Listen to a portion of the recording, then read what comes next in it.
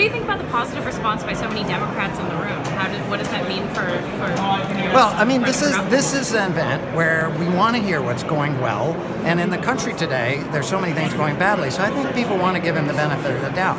But you know, there's the public-friendly Charlie, and then there's the man behind the curtain.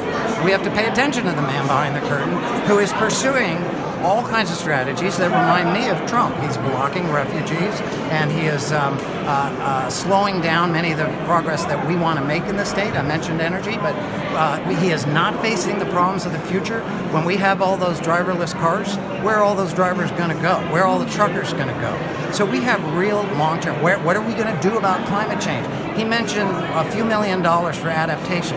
We're going to need a multi-billion dollar uh, uh, gate or a wall across the harbor to protect us.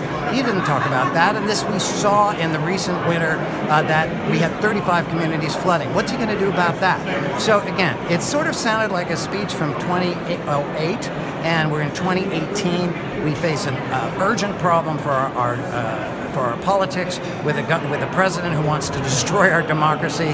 This governor's from the same party. He made no direct reference to the president. He just basically said, "I'm a nice guy. I'm willing to work with you on small stuff. That should be enough." It's not enough at a moment of crisis. So he may be a nice guy. He's just not the right guy for today.